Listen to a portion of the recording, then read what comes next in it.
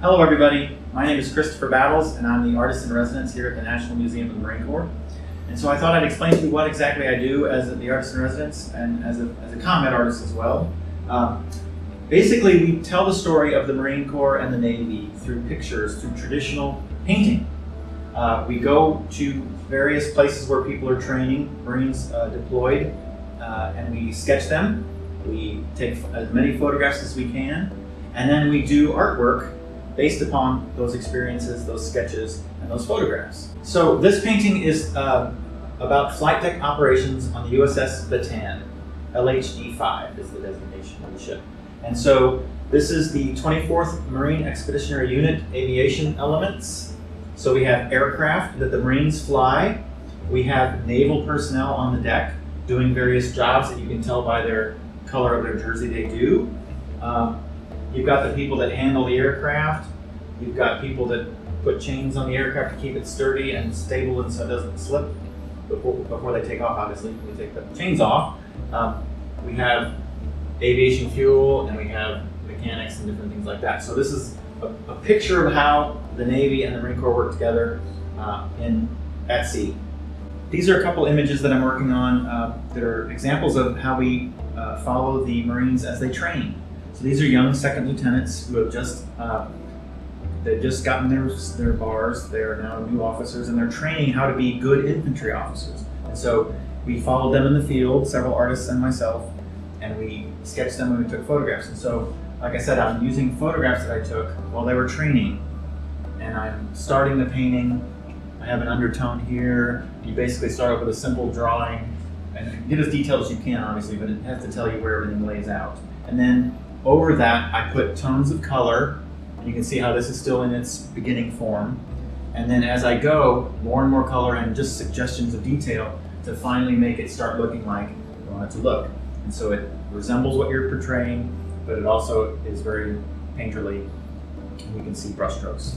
Getting a career as an artist takes, of course, discipline and lots of practice. Just like anything, if you're pursuing physics, if you're pursuing sports, if you're pursuing any other field, uh, maybe even more so with art, it takes a lot of practice. Just do what you love, and draw what you see all the time, all the time, all the time. Keep practicing drawing, and, and every day take a sketchbook with you. Uh, take a camera with you too, in case you see some scene that you'd like to paint, and just keep going at it day by day. Hello again. So now we're going to discuss some basics on drawing. Uh, we're going to discuss a little bit of perspective and then we're going to talk a little bit about what's called cross-hatching and rendering with lines. So perspective, of course, in common parlance and manners of speaking, means the way you look at something. And in this case, specifically how things appear as you see them and as they go away to the horizon. So one point perspective is what we're going to talk about. And first we start off by drawing a horizon line. And I'll just put HZ for my horizon line. This is as you're looking into the distance, that's the, as far as you can see. So as you've noticed, if you've ever walked around and noticed people, people up close are bigger than people as they get further away.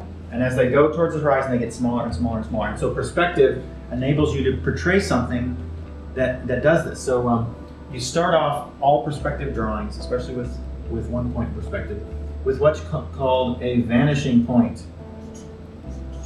And that's the point at which everything vanishes. That's why it's called the vanishing point.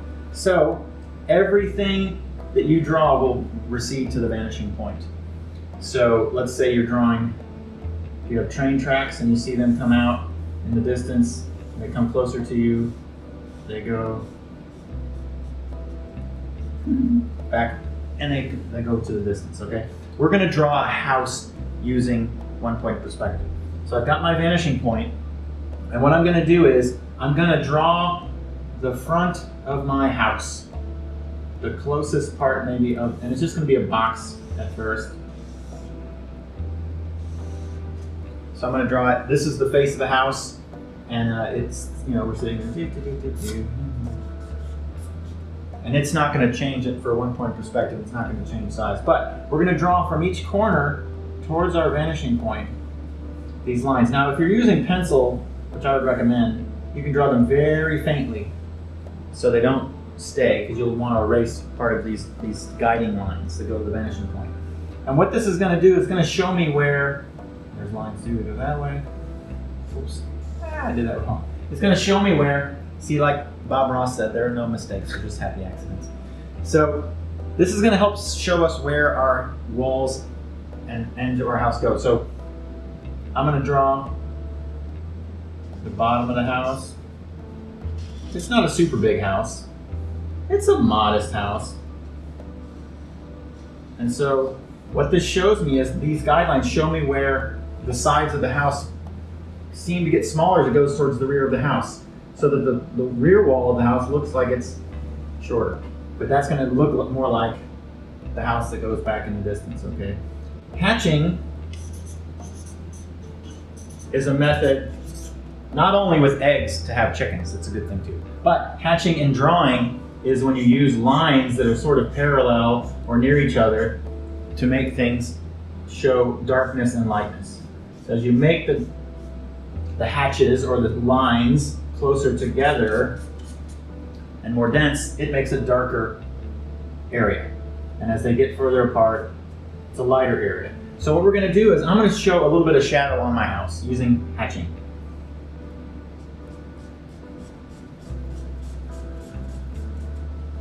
So imagine if the sun's coming this direction, this is the dark side of the house, this is more of the light side of the house, it's hitting the top of the roof. So this appears to be a little bit darker than the other areas.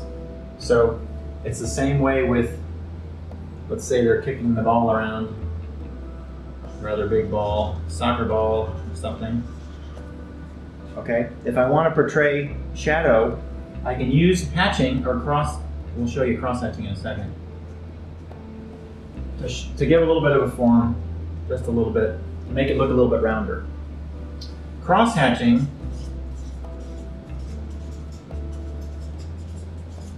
is hatching, of course, lines, but that go crossways. All right? So as I, let's say I want to portray the ball, and I want to make, I can start off with hatching, but I can also come in like that.